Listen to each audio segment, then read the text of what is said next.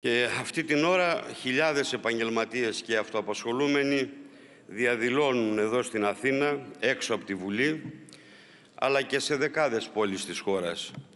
Χιλιάδες αυτοαπασχολούμενοι, δικηγόροι, μικροί έμποροι, επαγγελματίες στα ταξί, στις κατασκευές, απαιτούν την άμεση απόσυρση του φορολογικού νομοσχεδίου εμείς και από αυτό εδώ το βήμα, ξεκινώντας τη σημερινή παρέμβαση, εκφράζουμε τη στήριξή μας σε αυτές τις κινητοποιήσεις. Γιατί είναι δίκαιες, αφού το νομοσχέδιο που ετοιμάζεστε να φέρετε στη Βουλή βάζει στο στόχαστρο ακόμα μια φορά αυτούς που με σκληρό αγώνα και πάρα πολλές ώρες δουλειάς παλεύουν να βγάλουν ένα εισόδημα για να καλύψουν ανάγκες των οικογενειών τους αυτούς που ονομάζετε φοροφυγάδες, φοροκλέφτες. Είναι οι ίδιοι οι οποίοι έχουν υποστεί όλες τις συνέπειες της πολιτικής σας, όπως και προηγούμενων κυβερνήσεων, με τη φορολόγηση από το πρώτο ευρώ, με το χαράτσι του τέλους επιτιδεύματος, με τους άδικους έμεσους φόρους. Χωρίς να υποτιμάνε με προφανώς καθόλου το ζήτημα της σημερινής συνεδρίασης, όπως θα το διαπιστώσετε άλλωστε και μετά, δεν μας βγάζετε όμως από το μυαλό ότι δεν ήταν τυχαία η επιλογή αυτής της μέρας των κινητοποιήσεων των μικρών επαγγελματιών, των επιστημόνων, αυτήν που επέλεξε ο κύριος Πρωθυπουργός για να ενημερώσει τη Βουλή για τη Θεσσαλία και τον Εύρο. Ό,τι και να κάνετε όμως, το αντιλαϊκό πρόσημο της πολιτικής σας δεν μπορείτε να το κρύψετε. Εμφανιστήκατε σήμερα στη Βουλή σαν και καλά να έχετε πάρει το μάθημά σας από τις φυσικές καταστροφές σε Θεσσαλία, στον Εύρο, αλλού και τώρα δήθεν ξέρετε τι να κάνετε, πώς να προχωρήσετε. Βέβαια, είχαν προηγηθεί αλλεπάλληλες καταστροφές όπως αυτές του Ιαννού στην ίδια περιοχή, στη Βόρεια Εύβοια, αλλού στην υπόλοιπη χώρα. Τόσα μαθήματα πήρατε και όμως βρισκόμαστε πάλι στο ίδιο σημείο να συζητάμε πάλι για σχέδια αποκατάστασης. Τι έχει πάει λάθος; Το πρόβλημα βέβαια δεν είναι ότι είστε κακοί μαθητές, ούτε ότι είστε ανεπίδεκτοι μαθήσεως. Το πρόβλημα είναι ότι το μάθημα για σας γίνεται πάθημα για όλους τους άλλους. Γιατί εσείς συνεχίζετε στην ίδια πορεία. Λες και δεν συνέβη τίποτε. Γιατί για μια ακόμα φορά αντιμετωπίζετε τις καταστροφές για τις οποίες συζητάμε σαν ευκαιρία για μεγαλύτερες business στις καταστραμμένες περιοχές πάνω στον πόνο των ανθρώπων. Και δυστυχώς αυτή ακριβώς είναι και η ίδια καύσιμη ύλη για τις επόμενες καταστροφές που έρχονται. Είναι χαρακτηριστικό ότι το στρατηγικό σχέδιο ανασυγκρότησης της Θεσσαλίας για να ξεκινήσω από τον Κάμπο το οποίο περιγράφεται στην έκθεση της Ολλανδικής εταιρείας χαρακτηρίζεται από το γνωστό εγκληματικό κριτήριο του κόστους οφέλους. Για το σύνολο των έργων και των δράσεων που προτείνονται αναφέρεται ρητά ότι το κριτήριο θα είναι αν το οικονομικό κόστος θα είναι μικρότερο από το οικονομικό όφελος που προσδοκάται. Σε αντίθετη περίπτωση λέτε τίποτα δεν πρόκειται να γίνει. Και φυσικά υπέρτατο κριτήριο είναι οι περιβόητες πάλι αντοχές της οικονομίας, να μην λείψει δηλαδή εδώ που τα λέμε ούτε ένα ευρώ από τα πακέτα και τις φοραπαλλαγές που απολαμβάνουν οι επιχειρηματικοί όμιλοι. Συγκεκριμένα λοιπόν αυτά που φέρνει εδώ να δούμε στην πραγματικότητα το σχέδιό σας είναι η αναδιάρθρωση της αγροτικής παραγωγής με κατάργηση των λεγόμενων υδροβόρων καλλιεργιών γιατί δεν έχουν αγοραστές, η προώθηση της ιδιωτικής ασφάλισης ιδιαίτερα σε αγρότες και κτηνοτρόφους αλλά και για τις κατοικίες, ο δίθεν πράσινος ενεργειακός σχεδιασμός σας, η νέα ΚΑΠ που θα οδηγήσει στο οριστικό ξεκλήρισμα και άλλων βιοπαλαιστών αγροτών. Στην πραγματικότητα, για να το πούμε απλά, αυτό το σχέδιο δεν προσφέρει τίποτα ουσιαστικό για την προστασία του λαού. Η κατεύθυνση που δίνει είναι να προωθηθούν κάποια νέα έργα, χωρίς όμως ένα ολοκληρωμένο σχεδιασμό που θα λαμβάνει υπόψη το σύνολο των κινδύνων και το σύνολο των αναγκών των κατοίκων της περιοχής των αγροτών. Η έκθεση της Ολλανδικής εταιρείας θεωρεί ότι αν και η Θεσσαλία αποτελεί μια από τις περιοχές με τον μεγαλύτερο κίνδυνο πλημμύρας, πρέπει να γίνει αποδεκτό ότι δεν μπορεί να αντιμετωπιστεί αυτός ο κίνδυνος, ότι δεν μπορούν να προστατευτούν όλες οι περιοχές στη Θεσσαλία στα επιθυμητά επίπεδα. Άρα, λέτε, ορισμένες θα πρέπει να συνεχίσουν να υποφέρουν από πλημμύρες και η μόνη εφικτή επιλογή για αυτές είναι να υπάρχει προετοιμασία για εκένωση και να δίνονται στη συνέχεια ε, κάποιες αποζημιώσεις που σε αυτές τις περιπτώσεις βέβαια κοστίζουν και λιγότερο. Δηλαδή, τι λέτε στο λαό της Θεσσαλίας, ότι για όλα αυτά η κακιά του μοίρα που τύχε να γεννηθεί και να θέλει να στήσει τη ζωή του σε αυτόν τον τόπο. Συμβιβασμός, μυρολατρεία, λες και βρισκόμαστε στο Μεσαίωνα και όχι στον 21ο αιώνα της τεχνητής νοημοσύνης. Αλήθεια έπρεπε να φέρετε τους Ολλανδούς να μας τα πούν αυτά; Μια χαρά δεν τα εφαρμόζετε και από μόνοι σας τόσα χρόνια και εσείς και προηγούμενες κυβερνήσεις με τα γνωστά τραγικά αποτελέσματα. Αλλά δυστυχώς ακόμα και η οργάνωση του σχεδίου έκτακτης ανάγκης και διαχείρισης κρίσεων αυτά τα αυτονόητα πράγματα δηλαδή που τα παρουσιάζετε τάχα και ως καινοτομίες πάλι θα μένουν κενό γράμμα άρα συνεχίζεται στην ίδια κατεύθυνση. Μήπως όλα τα προηγούμενα χρόνια δεν υπήρχαν ανάλογα θεωρητικά σχέδια στα χαρτιά; Φυσικά και υπήρχαν, αλλά αυτό δεν έλυσε το πρόβλημα της προστασίας του πληθυσμού. Οι τεράστιες ελλείψεις συνολικά στην πολιτική προστασία, οι τεράστιες ελλείψεις μέσων, εξοπλισμού, η απουσία ουσιαστικής εκπαίδευσης με ασκήσεις ετοιμότητας δεν είναι αποτέλεσμα έλλειψης τεχνογνωσίας. Είναι αποτέλεσμα της ελλειπούς χρηματοδότησης και τελικά των δικών σας προτεραιοτήτων. Και βέβαια, όταν τελικά έρχονται οι καταστροφές, όπως έγινε στη Θεσσαλία το Σεπτέμβριο, τα θύματα βιώνουν ξανά την εγκατάλειψη, πλήρη εγκατάλειψη από το εχθρικό αντιλαϊκό κράτος, πάλι εξαιτίας των ίδιων κριτηρίων και προτεραιοτήτων. Και ερχόμαστε στο σήμερα. Ποια είναι η κατάσταση δυόμισι μήνες μετά; Δυόμισι μήνες μετά χιλιάδες λαϊκές οικογένειες παλεύουν να σταθούν στα πόδια τους. Οι πλημμυροπαθείς συνεχίζουν να βιώνουν την απουσία του κρατικού μηχανισμού, την εγκατάλειψη, την ανοργανωσιά, την αδιαφορία, τις υποσχέσεις χωρίς αντίκρισμα. Αλλά και το άθλιο παιχνίδι μετατόπισης των ευθυνών από την κυβέρνηση στην περιφέρεια, από εκεί στους Δήμους και πάλι πίσω και φτού και από την αρχή. Ακόμα και τα ελάχιστα που θα μπορούσαν να ανακουφίσουν τους πλημμυροπαθείς, να τους βοηθήσουν να σταθούν στα πόδια τους, είτε δεν γίνονται ποτέ, είτε καθυστερούν βασανιστικά, με αποτέλεσμα τα προβλήματα συνεχώς να συσσωρεύονται όλα όσα έπρεπε να γίνουν, τα αυτονόητα και επίγοντα, όπως ο καθαρισμός των σπιτιών από τις λάσπες, η απάντληση υδάτων, η απομάκρυνση και η ταφή χιλιάδων νεκρών ζώων, η αποκατάσταση αναχωμάτων, στις περισσότερες περιπτώσεις έγιναν από τους ίδιους τους πληγέντες με τη βοήθεια και την αλληλεγγύη άλλων ανθρώπων σωματείων. Είναι πραγματικά συγκινητική και ταυτόχρονα ελπιδοφόρα η αλληλεγγύη που εκδηλώθηκε από εργατικά σωματεία, μαζικούς φορείς από όλη τη χώρα που οργάνωσαν ακόμα και την αποστολή συνεργείων καθαρισμού για να βοηθήσουν τους πλημμυροπαθείς. Προφανώς όμως δεν μπορεί να τα λύσει όλα η λαϊκή αλληλεγγύη, γιατί και οι οργανωμένες απολυμάνσεις, οι ψεκασμοί, οι εμβολιασμοί, οι έλεγχοι αντισωμάτων είναι ευθύνη του κράτους.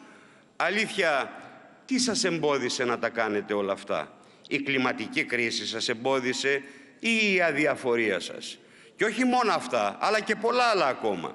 Για παράδειγμα, ακόμα και αυτή την ώρα που μιλάμε, υπάρχουν χωριά, υπάρχουν γειτονιές όπου δεν έχει ολοκληρωθεί η καταγραφή των ζημιών σε σπίτια, σε καταστήματα, σε καλλιέργειες. Οι αυτοψίες είναι στο 55% περίπου των αιτήσεων, ενώ αποζημιώσεις έχει δει μόνο το 50% αυτών που έκαναν αίτηση χάρη στους κόφτες που έχετε βάλει. Αλλά και για όσους τις πήραν, αυτές παραμένουν ανεπαρκείς. Οι επιτροπές των πλημμυροπαθών κάνουν λόγο για ζημιές έως και πενταπλάσιες σε αξία σε σχέση με την αποζημίωση που τους δίνεται. Εκατοντάδες πλημμυροπαθείς μένουν σε κοντέινερ, άλλοι μένουν σε ξενοδοχεία, σε σπίτια συγγενών και φίλων. Εκατοντάδες άνθρωποι δεν δικαιούνται καν επιδότηση ενοικίου, ενώ ακόμα και αυτοί που τη δικαιούνται δεν μπορούν να βρουν σπίτι κοντά στο χωριό ή στην πόλη τους. Χώρια που το ποσό που τους δίνεται δεν επαρκεί στο ελάχιστο. Οι υγειονομικές συνθήκες παραμένουν σε πολλές περιπτώσεις απαράδεκτες, με τα λιμνάζοντα νερά, τα νεκρά ζώα, τη μόλυνση του δικτύου ίδρευσης, να μεγαλώνουν όλα αυτά μαζί τον κίνδυνο εξάπλωσης μολυσματικών ασθενειών. Στην περιοχή έχουν καταγραφεί χιλιάδες περιστατικά λίμωξης αναπνευστικού, κρούσματα γαστρεντερίτιδας, ενώ υπάρχει ήδη θάνατος από λεπτοσπύρωση. Την ίδια ώρα πολλά κέντρα υγείας στα χωριά, όπως αυτό του Παλαμά, έχουν πάθει σοβαρές ζημιές, δεν λειτουργούν. Έντονο είναι επίσης το ψυχολογικό αποτύπωμα, αφού άνθρωποι είδαν τους κόπους μιας ζωής να χάνονται, βλέπουν τη ζωή τους να αλλάζει δραματικά και δυστυχώς οριστικά.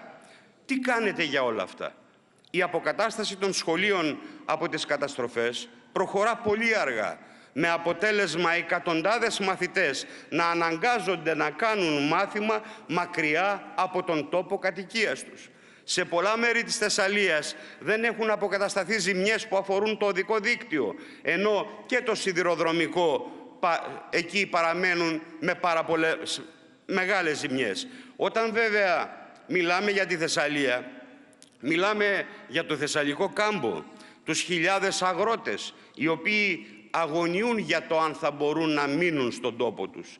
Τεράστιες εκτάσεις, περίπου 150.000 στρέμματα, παραμένουν κάτω από τα νερά μέχρι σήμερα.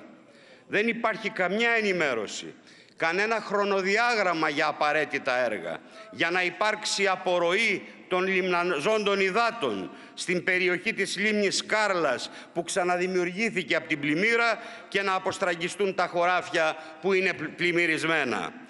Εκτιμήσεις κάνουν λόγο για μείωση της γονιμότητας του εδάφους που θα επηρεάσει την παραγωγή τα επόμενα χρόνια. Ξέρετε βέβαια πως οι αποζημιώσεις του ΕΛΓΑ από τη στιγμή που χορηγούνται με κριτήριο την ασφαλιζόμενη αξία απέχουν σημαντικά από το 100% συνολική κάλυψη της απώλειας. Ενώ το βοήθημα της κρατικής αρρωγής έχουν λάβει μέχρι στιγμής μόλις 9.000 παραγωγή σε σύνολο 32 και πλέον χιλιάδων αιτήσεων. Στην ίδια βεβαιότητα ζουν και χιλιάδες αυτοαπασχολούμενοι, επαγγελματίες, έμποροι, οι οποίοι έζησαν αυτούς τους δύο μήνες με ελάχιστο εισόδημα, αφού ήταν κλειστά για εβδομάδες τα μαγαζιά τους, ενώ και η κίνηση ήταν πεσμένη λόγω ακριβώς των καταστροφών. Τους εμπέζετε κι αυτούς. Αρνείστε να τους αποζημιώσετε για το 100% των ζημιών τους, ανακοινώνοντας ότι οι αποζημιώσεις δεν θα ξεπεράσουν το 70% και αν δοθούν και αυτά βέβαια. Βλέπετε οι αγρότες έχουν και την πικρή πείρα του Ιαννού. Την αγωνία των πληγέντων μεγαλώνει εν ώψη και του χειμώνα η απουσία ουσιαστικής συζήτησης για την ολοκληρωμένη αντιπλημμυρική προστασία της περιοχής αφού καθυστερούν τα αντιπλημμυρικά έργα. Και μαζί με αυτά καθυστερεί η αποκατάσταση ζημιών όπως ο καθαρισμός ρεμάτων, η απομάκρυνση φερτών υλικών από δρόμους, από γέφυρες κλπ. Την αγωνία αυτή την έζησαν βέβαια ήδη ως πραγματικότητα οι κάτοικοι του Βόλου. Όταν ολόκληρες συνοικίες πλημμύρισαν για δεύτερη φορά μέσα σε 20 μέρες, αφού μετά τις καταστροφικές πλημμύρες της 5ης του Σεπτέμβρη δεν προχώρησαν στοιχειώδεις ενέργειες. Αλλά τι να περιμένει κανείς από κυβερνήσεις και δημάρχους που πορεύονται με τη λογική ότι τέτοια κακοκαιρία θα ξανάρθει σε χίλια χρόνια. όπως μας έλεγαν. Να όμως που ήρθε νωρίτερα, σε λίγες εβδομάδες. Εμείς κύριοι της κυβέρνησης, σε αντίθεση με τα άλλα κόμματα, δεν σας κρίνουμε μόνο για την ταχύτητα με την οποία υλοποιείτε κάποιες δεσμεύσεις σας. Σας κρίνουμε κυρίως από το πώς αντιμετωπίζετε τις πραγματικές ανάγκες των πλημμυροπαθών, οι οποίες αποτυπώνονται και στις διεκδικήσεις τους. Και φυσικά δεν καλύπτονται από τις όποιες δεσμεύσεις σας. Γνωρίζετε πολύ καλά πως αυτά που διεκδικούν είναι τα ελάχιστα που πρέπει να γίνουν για να μπορούν οι άνθρωποι αυτοί στοιχειοδός να ζήσουν στον τόπο τους. Εμείς έχουμε καταθέσει ένα ολοκληρωμένο πλαίσιο προτάσεων για το τι πρέπει να γίνει. Και βέβαια για όλα αυτά θα συνεχίσουμε να μπαίνουμε μπροστά στην πρώτη γραμμή όπως κάναμε από την πρώτη στιγμή και αυτό το ξέρουν πολύ καλά οι κάτοικοι της Θεσσαλίας. Και από τη Θεσσαλία πάμε τώρα στον Εύρο. Από την καταστροφική πλημμύρα στην καταστροφική πυρκαγιά. Το μόνο που αλλάζει είναι ότι στη μια περίπτωση μια ολόκληρη περιοχή πνίγηκε, ενώ στην άλλη κάηκε. Κατά τα άλλα και στις δύο περιπτώσεις είναι ο ίδιος είναι ο ένοχος, ίδια και η αιτία. Η διαχρονική πολιτική που αντιμετωπίζει την, την προστασία της ανθρώπινης ζωής ως κόστος και έχει τη σφραγίδα όλων σας και της Νέας Δημοκρατίας και του ΣΥΡΙΖΑ και του ΠΑΣΟΚ, των κομμάτων που κυβέρνησαν δηλαδή. Χωρίς αμφιβολία, το 2023 όπως και το 2022 ήταν δύο τραγικές χρονιές για τον Εύρο και ειδικά για το δάσος της Δαδιάς. Με δεδομένο ότι κάηκαν συνολικά γύρω στα 900.000 στρέμματα δασών και γεωργικών εκτάσεων ενώ στο προστατευόμενο δάσος της Δαδιάς κάηκαν πάνω από 45.000 στρέμματα και πάνω από τα μισά από αυτά έχουν καεί εντελώς.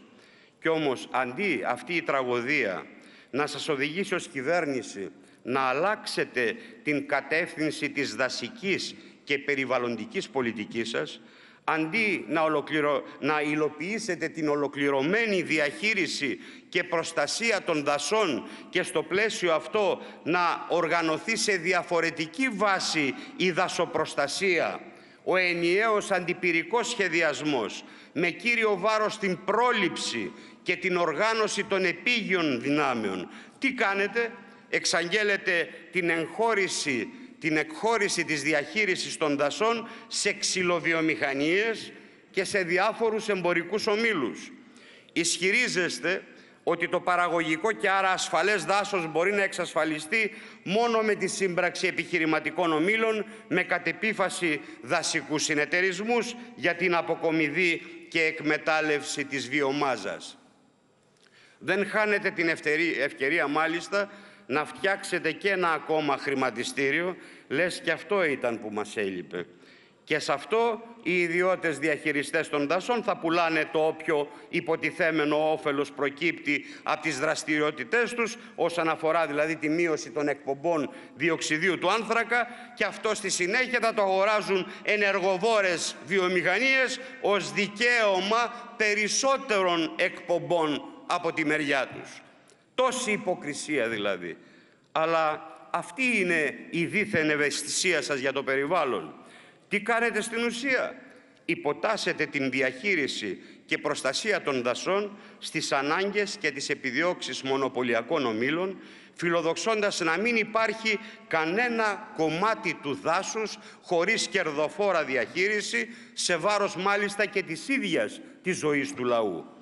Η αλήθεια είναι ότι ειδικά για τον Εύρο και το δάσος της Δαδιάς ξεπεράσατε τον εαυτό σας. Με ένα επικοινωνιακό μπαράζ προσπαθήσατε να μας πείσετε ότι είχατε οργανώσει τον αντιπυρικό σχεδιασμό, ότι είχατε ολοκληρώσει τις εδαφοτεχνικές μελέτες και τα έργα. Αλλά όπως συμβαίνει παντού έτσι και εδώ, η κλιματική κρίση, η συσσωρευμένη καύσιμη ύλη και τα ακραία φαινόμενα δεν μπορούσαν να αντιμετωπιστούν. Προφανώς και δεν μπορούσαν να αντιμετωπιστούν, γιατί όλα τα μέτρα που πήρατε ήταν εντελώς αποσπασματικά, ανεπαρκή, όπως αποδείχθηκε και στην πράξη. Και βέβαια κάνετε ό,τι μπορείτε για να δικαιολογήσετε φτηνά την αντιδασική και αντιπεριβαλλοντική πολιτική σας στο πλαίσιο της δίθεν πράσινης μετάβασης, της πράσινης Ευρωπαϊκής Συμφωνίας και της στρατηγικής της Ευρωπαϊκής Ένωσης, η οποία ένα στόχο έχει την ολοένα και μεγαλύτερη προσαρμογή των δασών στις ανάγκες της καπιταλιστικής αγοράς και των πράσινων ομίλων, οι οποίοι αρπάζουν τα δάση και το περιβάλλον για τα αδιφάγα εκμεταλλευτικά τους σχέδια. Έλεος, σας βαρεθήκαμε πια. Κάθε φορά το ίδιο γνωστό τροπάρι.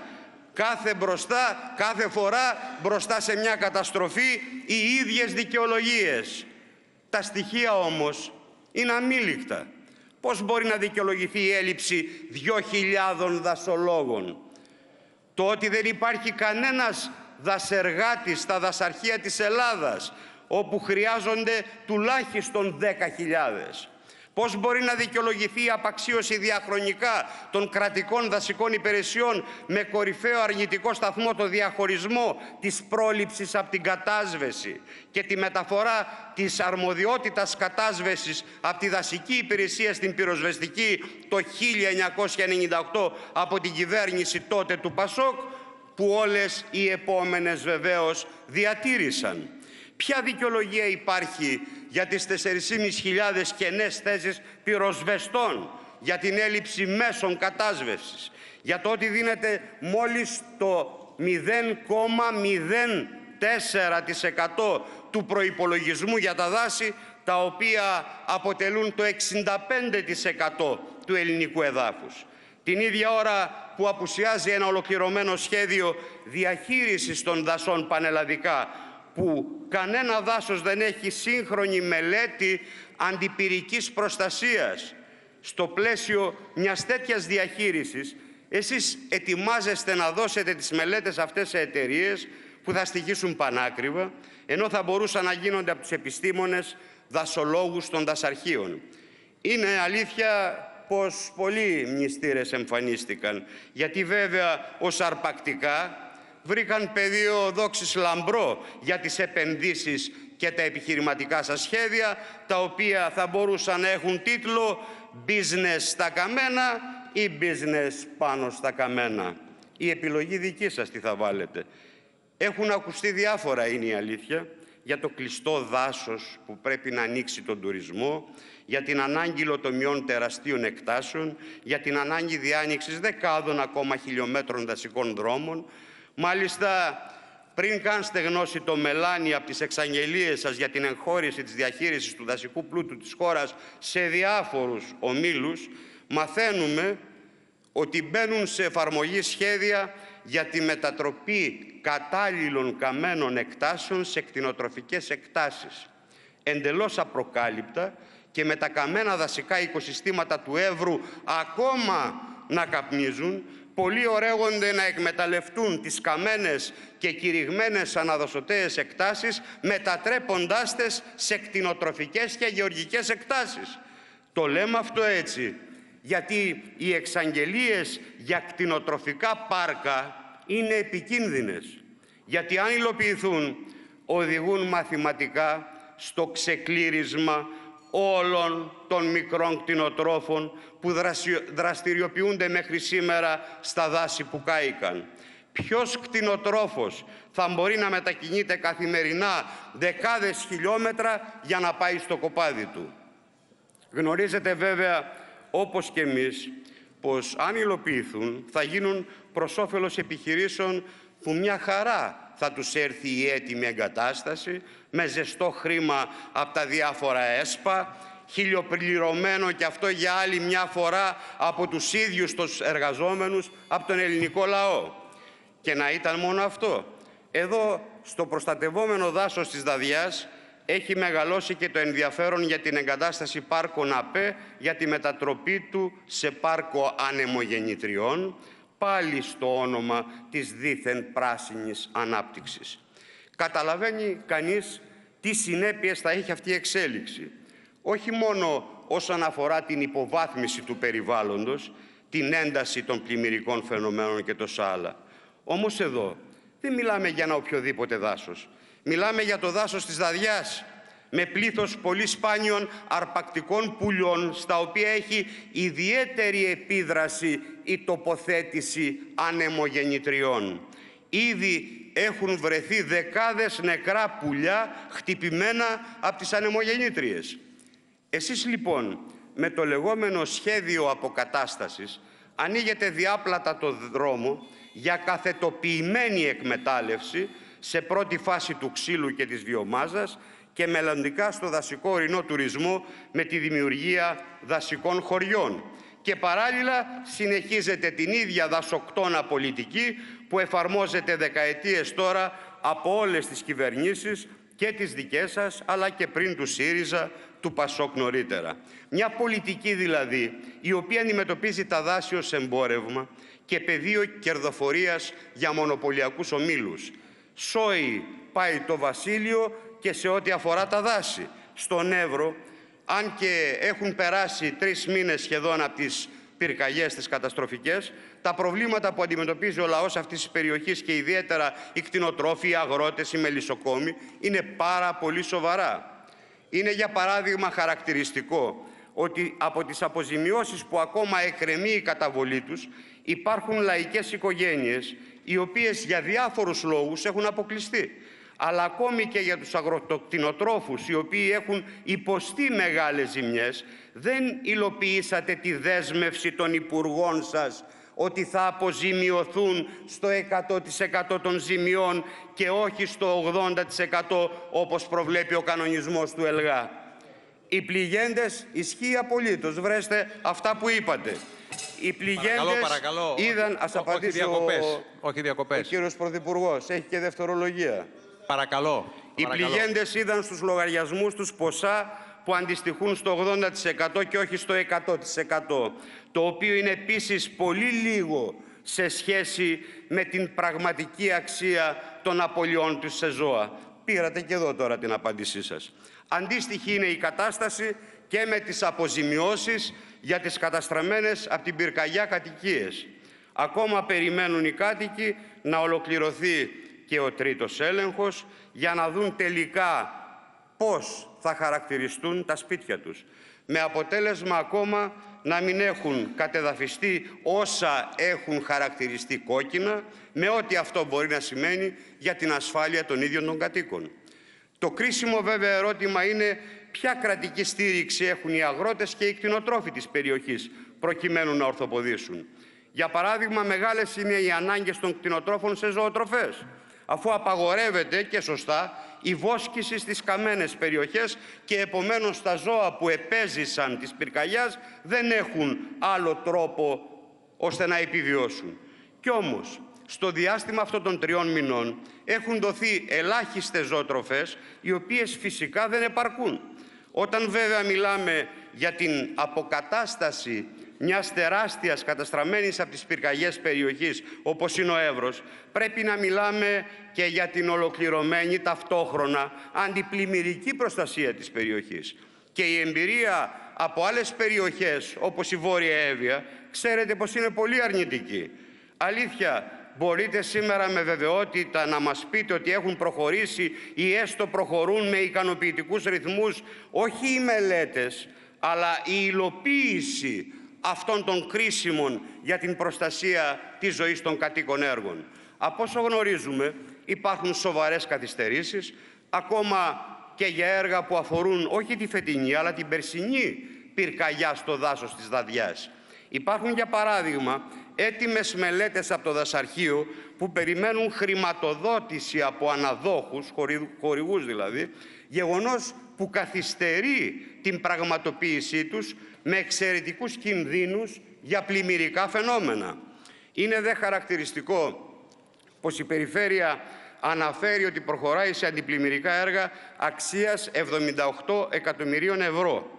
Όμως τα περισσότερα από αυτά δεν αφορούν τις νέες ανάγκες. Είναι έργα που θα έπρεπε να έχουν ήδη γίνει εδώ και δεκαετίες και αφορούν όλο τον νομό Εύρου, τον Ερυθροπόταμο, τα αναχώματα του ποταμού Εύρου, ορισμένα φράγματα κλπ. κλπ. Χρειάζεται όμως, κυρίες και κύριοι, να μιλήσουμε πιο συγκεκριμένα, ειδικά για την υγεία των κατοίκων Κύριε Πρόεδρε, λίγο χρόνο, τελειώνω. Ναι, δεν ναι, θα- βεβαίως. Δεν θα Έχει- αργήσω πολύ, διότι... Δεν θα δευτερολογήσετε, δεν το θα κάνω καταλαβαίνω. και τη Ναι, ναι, ναι, ναι, δευτερολογία ναι, μου ναι, κι αυτός. αλίμονο, ναι, ναι. Άλλωστε δεν χρειάζεται να ζήσει κανείς μια 20ήμερη φωτιά για να καταλάβει πως η υψηλή συγκέντρωση σωματιδίων στην ατμόσφαιρα η οποία συνεχίστηκε για πολλές μέρες μετά την κατάσβεσή της, έχει επηρεάσει την υγεία των κατοίκων, κυρίως με αναπνευστικές νόσους. Όπως και στην περίπτωση της Θεσσαλίας, χρειάζεται παρακολούθηση, πρόληψη, επιτήρηση για το σύνολο του πληθυσμού, επομένως, επομένως και μέτρα στήριξης, δωρεάν πρόσβασης σε όλες τις δημόσιες δομές υγείας. Χρειάζεται ενίσχυση ειδικά της πνευμολογικής κλινικής του νοσοκομείου, προσλήψεις απαραίτητου ιατρικού νοσηλευτικού προ- προσωπικού, προμήθεια κατάλληλων διαγνωστικών μέσων, σχέδιο καθολικής εξέτασης και παρακολούθησης του πληθυσμού της περιοχής. Έχει η κυβέρνησή σας, τα αρμόδια υπουργεία σας τέτοιο σχέδιο. Το ερώτημα δεν είναι ρητορικό, είναι πραγματικό, απαιτεί απάντηση. Εξίσου σημαντικό ζήτημα για την υγεία των κατοίκων αποτελεί και η ποιότητα του νερού ίδρευσης που φαίνεται να επηρεάζεται από τις πυρκαγιές. Γι' αυτό και υπάρχει η ανάγκη για εφαρμογή άμεσων πρόσθετων μέτρων προστασίας και μέτρων για τον εντελεχή έλεγχο του νερού. Δεν θα μπω σε λεπτομέρειες. Οι τοπικές αρχές γνωρίζουν τι μέτρα πρέπει να πάρθουν για να αποφευχθούν προβλήματα στην ποιότητα του νερού. Άφησα για το τέλος, χωρίς αυτό να σημαίνει ότι είναι τελευταίο σε σημασία, το σχολείο στην Παλαγία που κάηκε. Είναι αυτό το σχολείο το οποίο με την πανοκρουσίες εγκαινιάστηκε από τον ίδιο τον Πρωθυπουργό, τον κύριο Μητσοτάκη, το Σεπτέμβριο. Παρουσία του Υπουργού Παιδείας μετά την ανακατασκευή του πάλι βέβαια από ανάδοχο χορηγό. Ξέρετε, ξέρετε, ας ρωτήσω καλύτερα, γιατί δεν ξέρω αν το ξέρετε, πως ο εργολάβος που έχει αναλάβει την επισκευή του δήλωσε ότι τα χρήματα του χορηγού τέλειωσαν με αποτέλεσμα να μην έχει φτιαχτεί ακόμα η σκεπή του σχολείου. Αυτό σημαίνει ότι με ένα ψηλόβροχο όπως αυτές τις μέρες το σχολείο πλημμυρίζει, μπάζει νερά από την οροφή. Τι ακριβώς εγγενιάσατε κύριε Πρωθυπουργέ; Αφήστε, μας απαντάτε την επόμενη φορά σε μια άλλη συνεδρίαση της Βουλής. Και αυτό ακριβώς είναι το πρόβλημα. Ότι δυστυχώς θα υπάρξει και επόμενη φορά, δηλαδή δυστυχώς θα υπάρξει μια νέα καταστροφή, η οποία θα έχει αφήσει πίσω τις λάσπες από καΐδια, όπως πριν στη Θεσσαλία και τον Εύρο, περιοχές για τις οποίες συζητάμε σήμερα. Γιατί, γιατί το σημερινό εχθρικό κατά την άποψή μας για το λαό κράτος σας με μεγάλη αποτελεσματικότητα και ικανότητα μπορεί να χρηματοδοτεί κάποιους ομίλους με δισεκατομμύρια ευρώ ζεστό χρήμα από το αίμα και τον υδρότα του λαού μας βγαλμένο φορολογεί ταυτόχρονα το λαό και τώρα ετοιμάζεται να ξεζουμίσει πάλι τους μικροεπαγγελματίες. Όμως την ίδια ώρα είναι παντελώς ανίκανο να αντιμετωπίσει όχι τις επιπτώσεις από τα ακραία φαινόμενα, αλλά ούτε από τα συνηθισμένα και προβλέψιμα, όπως οι έντονες φθινοπορεινές βροχοπτώσεις ή όπως οι καλοκαιρινές πυρκαγιές ή οι, σεισμο, οι σεισμοί στην πιο σεισμογενή χώρα της Ευρώπης όπως είναι η πατρίδα μας.